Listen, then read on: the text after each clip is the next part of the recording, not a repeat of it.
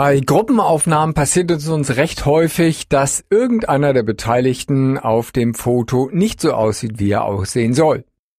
Zum Beispiel bei diesem Foto hier der drei Kollegen haben wir hier einmal das Foto, zwei gucken in die Kamera, einer hat die Augen geschlossen. Gucken wir uns das nächste Foto an. Ich habe hier zwei Fotos aus dem Ordner mit den Übungsmaterialien geöffnet.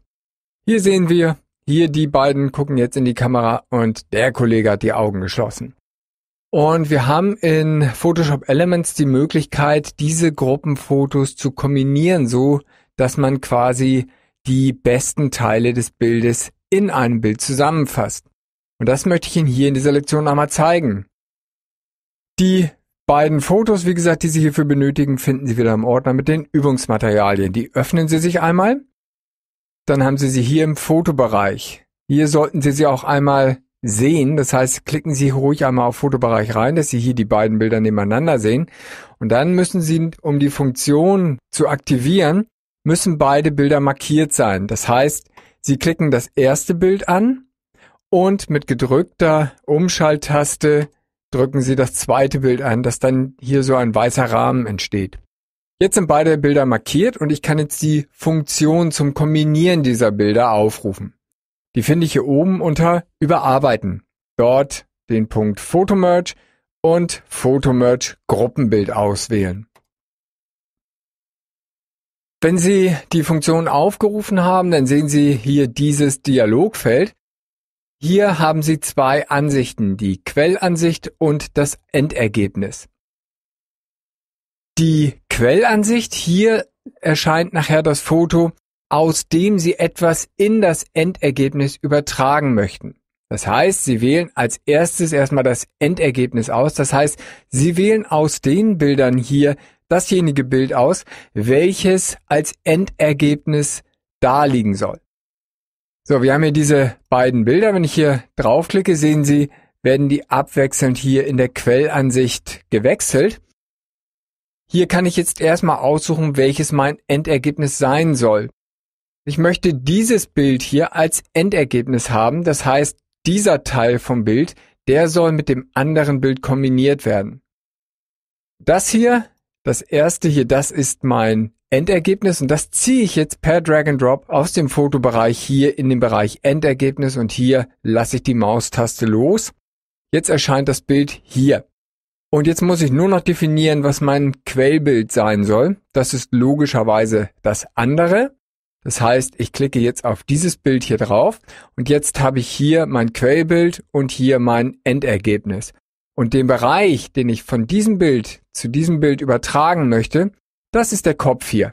Hier sind die Augen geöffnet, hier sind die Augen geschlossen und ich möchte diesen Teil des Bildes am Ende in diesem Bild kombiniert haben. Und dazu benutze ich hier das Buntstiftwerkzeug. Mit dem Buntstiftwerkzeug kann ich einen Rahmen um den Bereich des Bildes machen oder erzeugen, der übertragen werden soll. Und dazu klicke ich hier auf Buntstift. Und jetzt kann ich hier die Größe des Buntstiftwerkzeuges eingeben. Den lasse ich aber so, wie er hier eingestellt ist, auf die kleinste Größe. Ich lasse mir hier auch die Striche anzeigen, damit ich auch sehe, wo ich male. So, und jetzt fange ich einfach an, hier um den Bereich zu malen, aber ich werde vorher mal meine Ansicht vergrößern. Das heißt, ich gehe hier in das Lupenwerkzeug und ziehe mit gedrückter linker Maustaste einmal diesen Bereich auf. Und das Praktische ist, das wird in beiden Ansichten aktualisiert. Das heißt, hier sehe ich den Bereich, der übertragen werden soll und kann dementsprechend dann auch das Ergebnis sehr schnell kontrollieren. Gut, ich gehe also wieder zurück zum Buntstiftwerkzeug und jetzt sehen Sie, habe ich hier mein Werkzeug ausgewählt und habe jetzt die Möglichkeit hier um den Kopf herum einen Rahmen zu ziehen. So, und das, was innerhalb dieses Rahmens eingeschlossen ist, das wird auf die andere Seite übertragen. Und jetzt lasse ich mal die Maustaste los. Und Sie sehen, hier ist jetzt der Inhalt des Rahmens auf das zweite Bild übertragen worden. Wenn ich mir jetzt mal das Bild komplett ansehe, mit Steuerung 0, dann sehen Sie, ist das hier perfekt angepasst. Denn jetzt haben wir hier die drei Bilder, wo alle drei die Augen geöffnet haben. So, ich zoome nochmal wieder hier rein. Und jetzt habe ich die Möglichkeit, falls das Ergebnis nicht überzeugend ist, habe ich die Möglichkeit mit dem Radiergummi diesen Strich auch wieder zu entfernen und nochmal neu anzusetzen, wenn es mir nicht gefällt.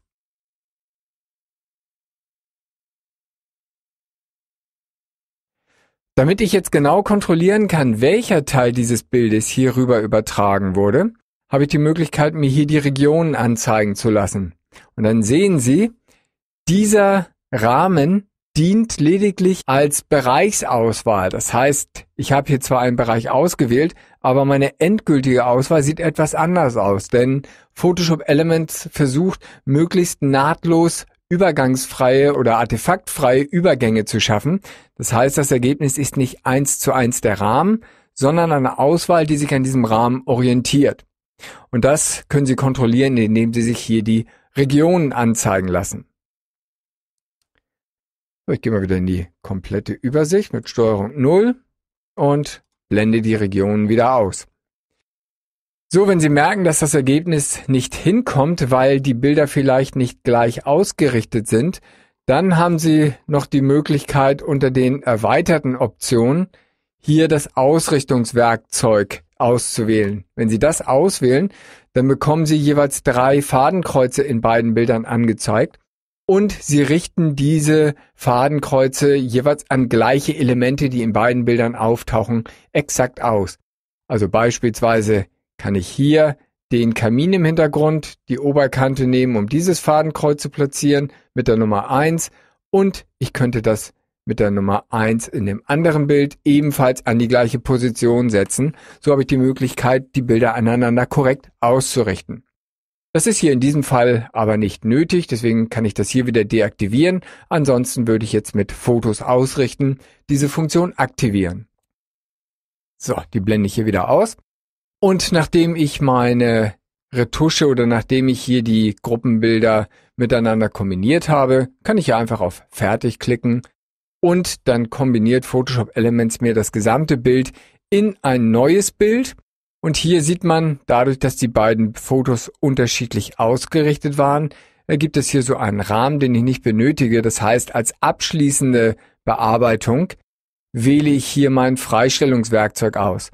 Sollten Sie sich im Assistentenmodus befinden, dann haben Sie das nicht zur Verfügung. Dann wechseln Sie kurz in den Modus Schnell oder Experte und dann wählen Sie hier das Freistellungswerkzeug aus und ziehen hier einen Rahmen auf der den Bereich umfasst, der bei beiden Bildern vorhanden ist. Und dann mit dem grünen Häkchen können Sie die Auswahl bestätigen und jetzt brauchen Sie das Bild nur noch abspeichern.